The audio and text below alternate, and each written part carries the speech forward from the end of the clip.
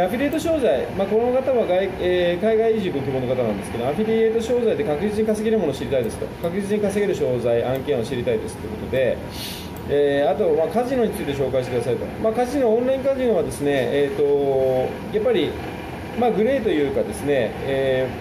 ー、アフィリエイトは今のところ NG にはなってないんですけれども、まあ、あのちゃんと紹介するのはあの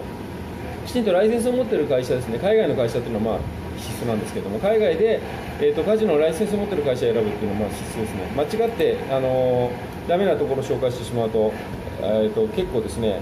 まあ、ちょっと不安になってくると思うんですね、なので、まあ、そこは気をつけていただきたいと思うんですけども、えー、確実に稼げるっていう案件というのは、まあ、アフィリエイトの場合ですね、まあ、やっぱり、えー、確率っていうのはもちろんないんですけれども、まあ、稼ぎやすいものはもちろんありますよね。まあ、あの例えばネットビジネスとアンリミテッドアフィリエイトとか、まあ、そういったものはあります。でアフィリエ